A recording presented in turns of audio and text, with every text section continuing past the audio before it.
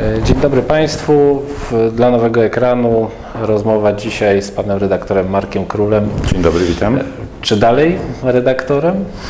Znaczy, ja tak niespecjalnie lubię używania tego mm, określenia, e, ponieważ jak e, polityk chce zmiękczyć dziennikarza, to mówi panie redaktorze i mnoży to e, wielokrotnie w czasie rozmowy. E, czuję się redaktorem chyba, tak. A nie szkoda panu wprostu? No szkoda, końcu to było moje dziecko, mój pomysł od samego początku, żeby zrobić magazyn wzorowany na amerykańskim Time Newsweeku. No ale przyszły takie czasy i e, dzisiaj jak przejrzałem wydania tygodników, to się za głowę chwyciłem, zacząłem jak mało mają reklam, jak beznadziejnie wygląda sytuacja, jeżeli chodzi o reklamy dla prasy. I nie było wyboru po prostu. Nic nie zapowiadało poprawy na rynku reklamowym. Sprzedaż y, spadała i spada dalej wszystkim tygodnikom i gazetom. Kiedyś nie, w ogóle nie zwracaliśmy uwagi na sprzedaż, a przypomnę, że w latach na przykład 90. sprzedawaliśmy około 370 tysięcy, kiedy odchodziłem, kiedy sprzedawaliśmy wprost, to było około 100 tysięcy. Aż, aż, aż taka duża różnica była? Koszmarne, spadek? tak, koszmarnie, tak. Lata 90. to były la- lata najlepszego czytelnictwa. Wtedy gazety osiągały 400-300 tysięcy sprzedaży dziennej. A z czego to wynika, jak pan sądzi? Są różne teorie na ten temat. Znaczy ja powtarzałem jedno przede wszystkim dlatego, że e, e, gazety są raz e, są nudne, mm, dwa, że bardzo często się bardzo mocno zideologizowały. E, Nie mam tutaj na myśli tego, co nazywamy sprofilowaniem, a więc, że mamy pisma centrowe, prawicowe, lewicowe i tak dalej, ale po prostu stały się wręcz organami formacji, które m, są w Sejmie. E, No a trzy to na pewno internet. I przeraziło mnie kiedyś, e, doznałem pewnego wstrząsu, kiedy byłem na spotkaniu z dziennikarzami gdzieś tam w Krakowie, między innymi studiującymi dziennikarstwo i opiekun, pan doktor, powiedział mi coś takiego, że zmusił ich do tego, żeby przed spotkaniem ze mną przygotowali się, ponieważ oni na ogół tylko czytają w internecie gazety. To było gdzieś 3-4 lata temu.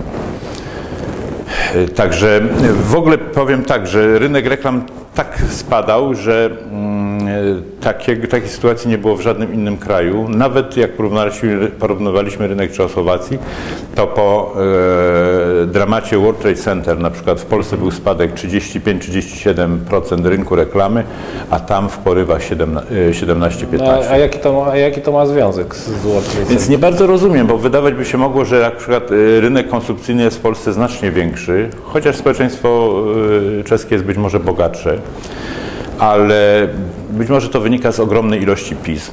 Te, te reklamy się rozszczepiały na różne pisma. E, Trudno, trudno to na razie wskazać, natomiast generalnie spada czytelnictwo. Po prostu nieustannie ja śledzę to, no bo, bo jestem jakby z gazet wyrosłem i, z prasy pisanej. Y, Co kwartał spada czytelnictwo.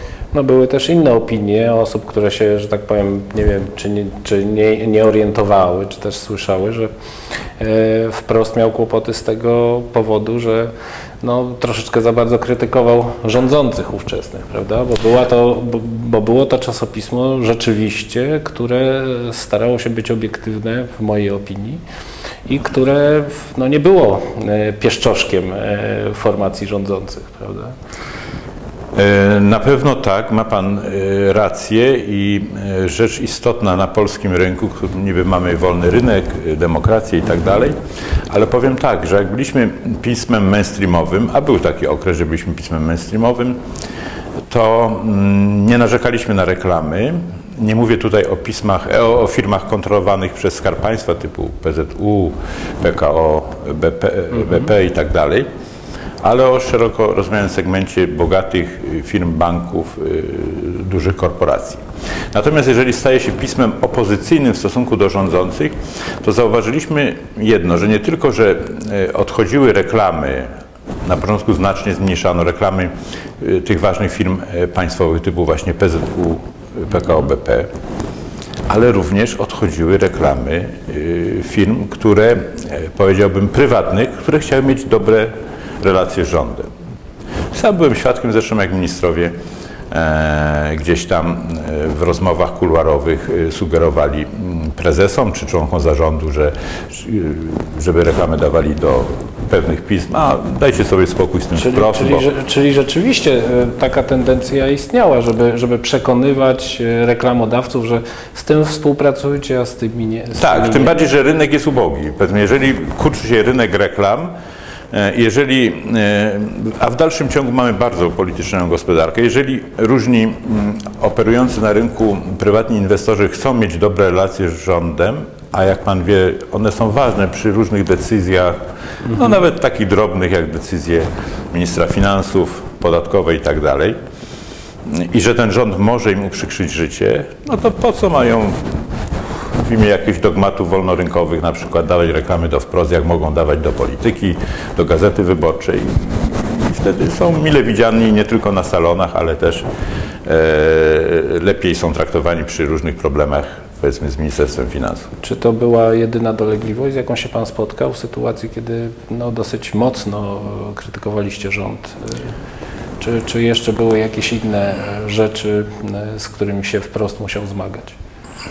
To znaczy, to było, to, nas uderzało finansowo. Mm, Myśmy mieli różne konflikty w latach 90. rządem z SLD, na przykład, przypomnę aferę Oleksego i tak dalej, sprawę Oleksego, ale nigdy to się tak mocno nie przekładało na e, e, pozyskiwanie reklam. E, Natomiast też działało, to już jest może mniej znaczące, ale proszę sobie wyobrazić, że na przykład minister edukacji daje sygnały, jakie pisma należy prenumerować. Na przykład dostaliśmy informację, że różne biblioteki szkolne no, nie powinny na przykład, nie jest mile widziana prenumerata tygodnika wprost. Nie tylko my byliśmy na tej czarnej liście, tam były różne inne tytuły. To często, ja tu przesadzam mówiąc o liście, bo to słowem, słownie przekazuje taką, taką informację.